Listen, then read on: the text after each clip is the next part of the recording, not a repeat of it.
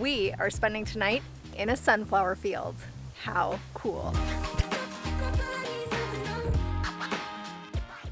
In this vlog, we find ourselves in the small town of Pitts, Georgia.